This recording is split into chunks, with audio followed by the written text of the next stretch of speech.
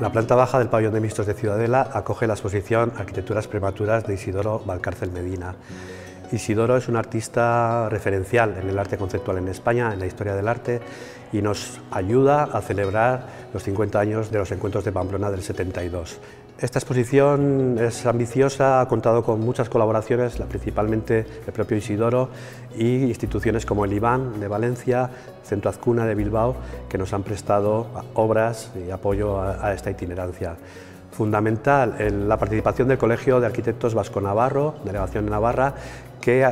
se ha convertido en socio para la producción de esta exposición y que va a desarrollar un programa de actividades, de mediación y de conocimiento en torno a estas arquitecturas efímeras, prematuras de Valcárcel Medina.